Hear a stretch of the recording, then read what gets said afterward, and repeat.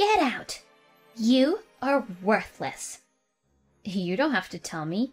I'm leaving. Get out now. I know. I grabbed my wallet and phone. But my mother in law, Paula, swatted them away with force.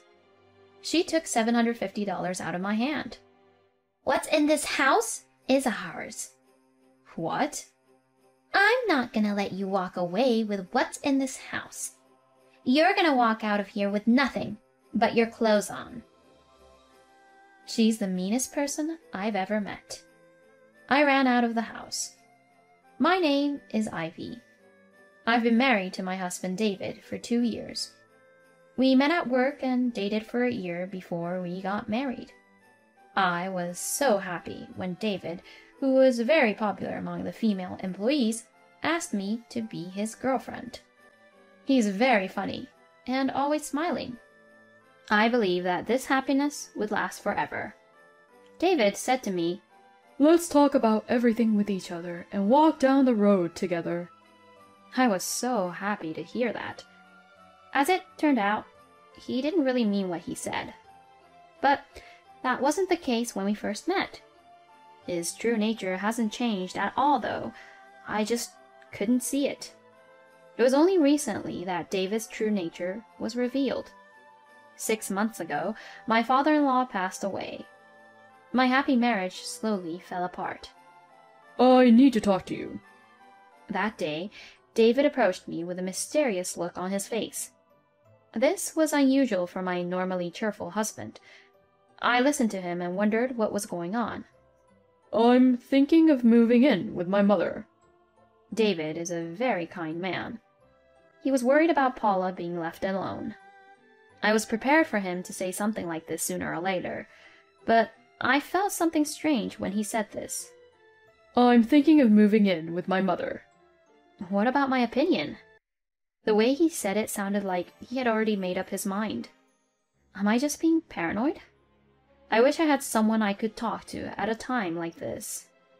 My parents have already passed away, so even if I want to talk to them about it, I can't. I thought about talking to my friend about it, but my friend is single. None of my friends are married. I thought about talking to someone at work, but David and I work at the same company. I didn't feel comfortable discussing our situation with someone at work. I agonized over the matter alone, but David had always shown me his concern for me. I decided to stop being so nervous about what he said. About moving in together with Paula? I was at a loss for words that day and couldn't respond. Later that day, I told David whether or not I wanted to live with her. What? I'm worried about Paula. I'm in favor of moving in with her, too. Uh, yeah. It's not what I expected. He sounds so uninterested. I was expecting a thank you, or i I'm glad, or something like that. I wonder if I was arrogant to expect such words. It's not nice to ask for something in return, but I wanted him to at least say thank you. We talk about everything, right? Yes, we do. So, when do you want to move in? Oh, the Friday after next. What? I don't know why, but I felt pretty frustrated. We said we'd discuss everything, and he informed me of his decision. I want to be there for Paula, who lost her husband, but it still makes me angry. Why is it already decided? What? The day when we are supposed to move out. I didn't hear anything about it. You didn't tell me anything about it. I don't think I want to move in with her anymore. David was obviously upset. I'm sorry. My dad is gone, and I don't know what to do. I just wanted to help my mom.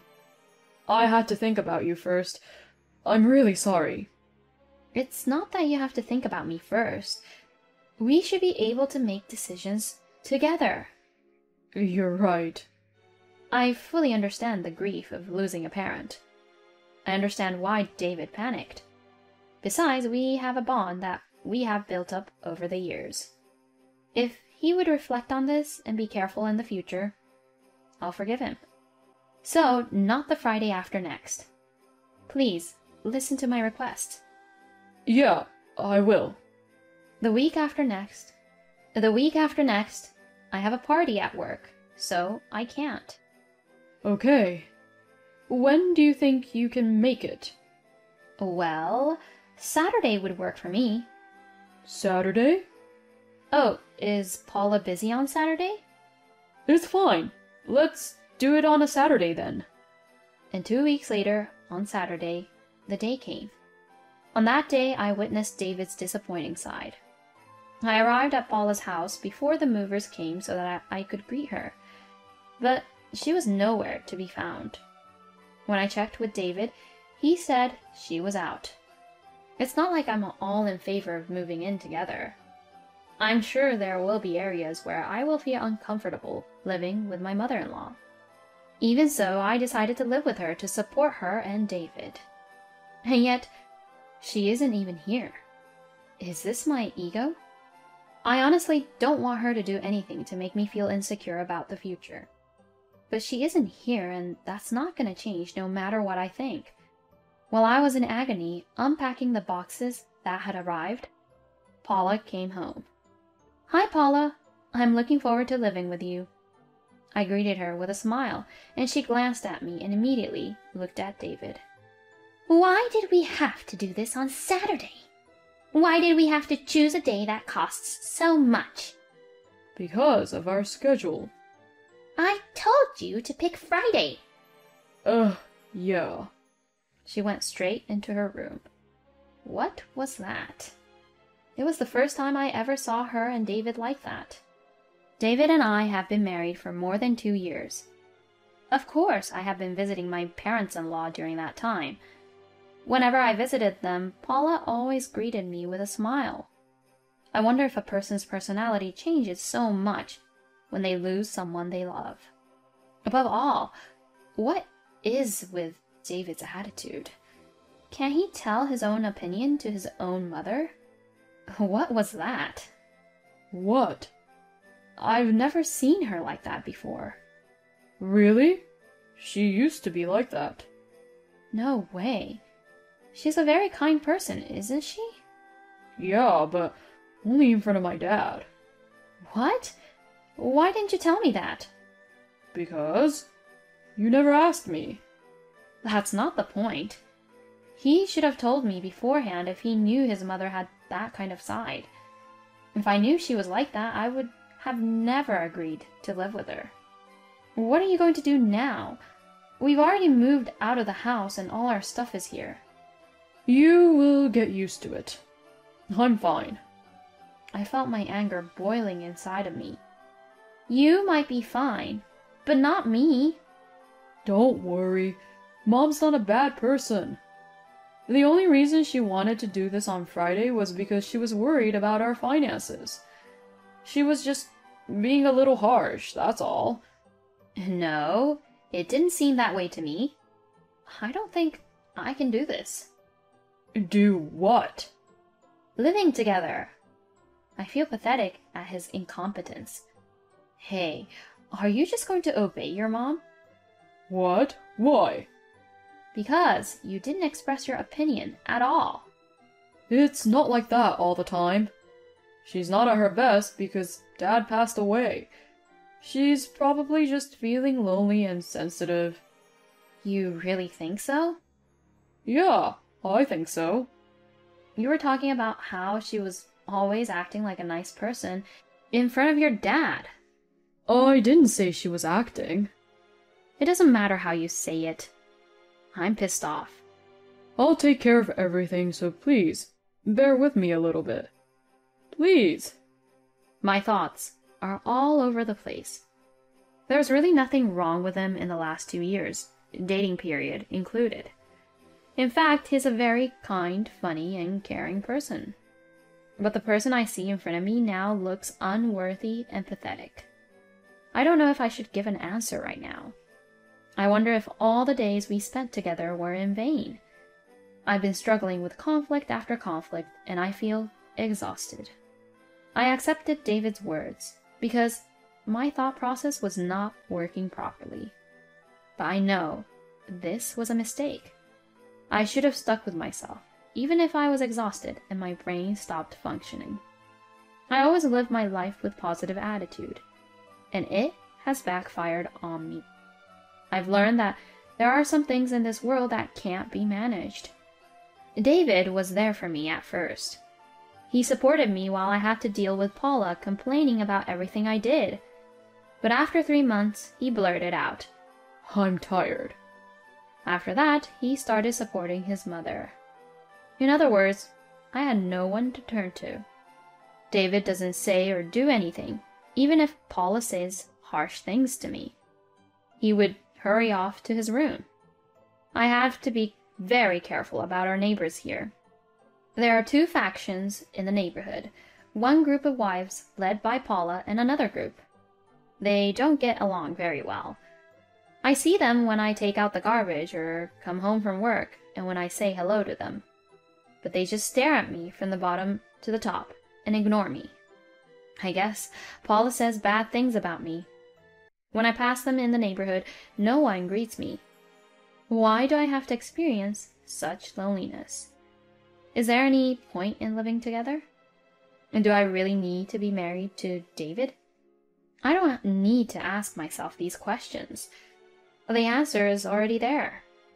At dinner that night, I broached the subject. I would like to talk to you about our future. Paula's eyes widened. Oh, yes, finally. So when are you quitting your job? What? I'm not quitting my job. Then I don't have to listen to you. What is going on, David? You should be able to make your wife obey us. Yeah. What are you talking about? You were supposed to quit your job and move in with me. What? I can't live my retirement life because you didn't keep your promise. She doesn't do anything, anyways. I didn't know she expected me to quit my job. What is going on? I looked at David, but he just stood there looking uncomfortable. I said, What is going on? Mom's getting old, so if you quit your job, you can stay home and mom can relax. She complains about the food I make, the rooms I clean. All she does is complain. I'm not complaining. I'm trying to teach you something. Look, all I need is for you to quit your job and stay home. You can take care of my mom. Then you quit your job and take care of her. She's your mother. I was just trying to tell you that I'm divorcing you. What?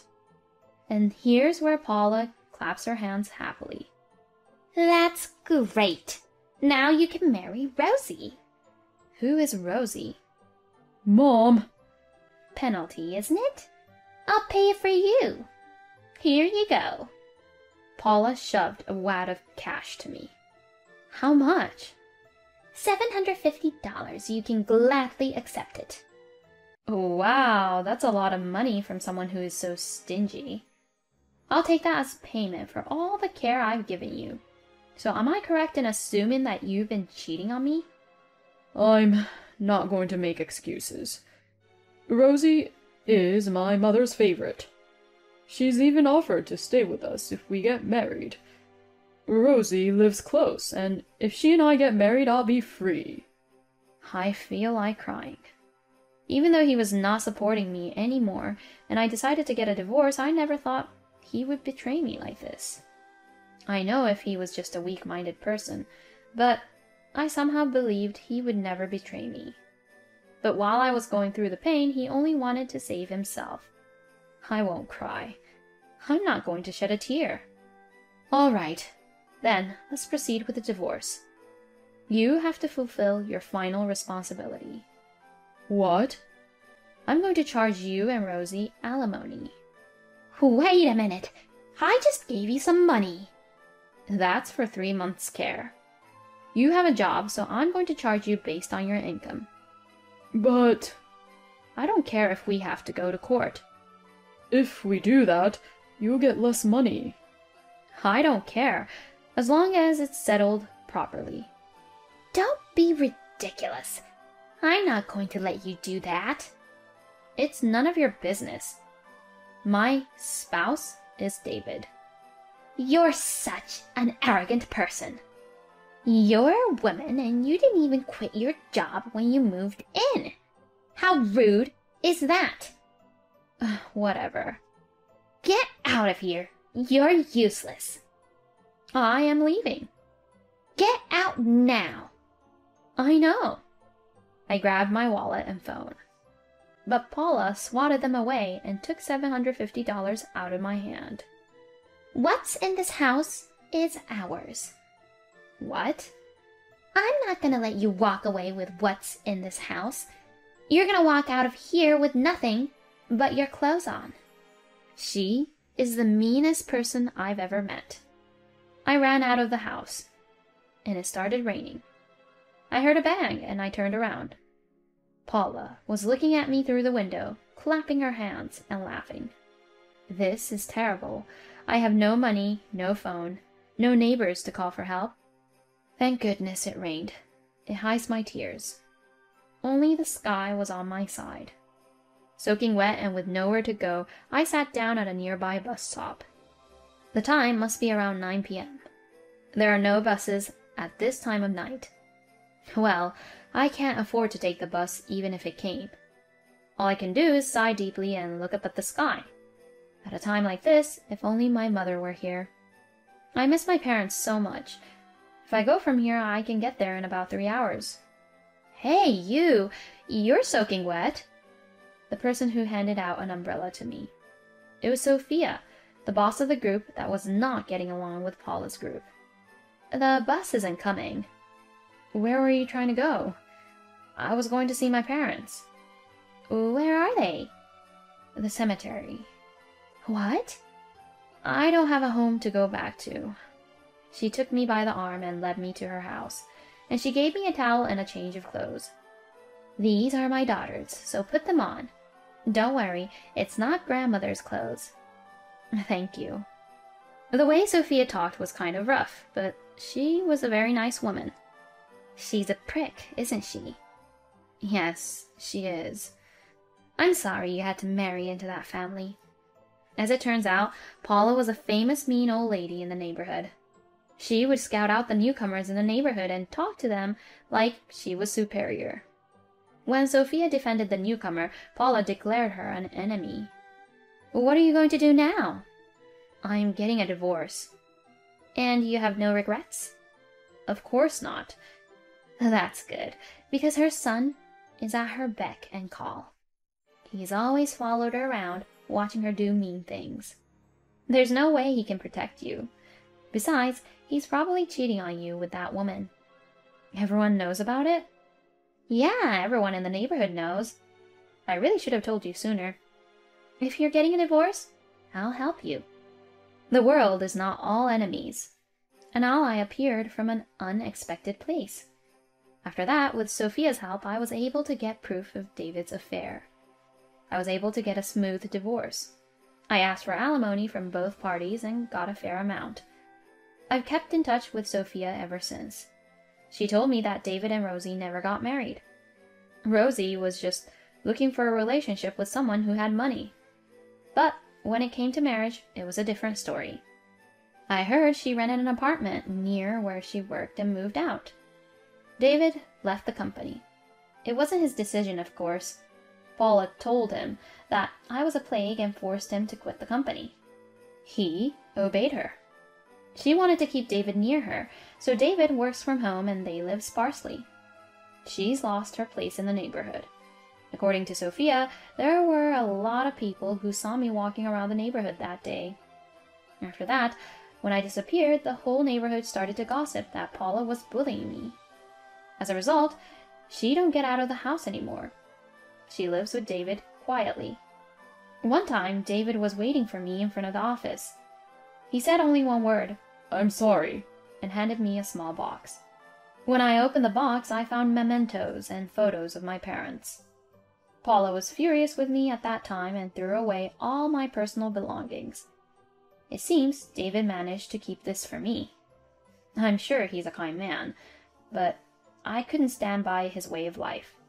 It would be hard to break free from his mother's spell. I felt a little sad, but I don't regret my choice.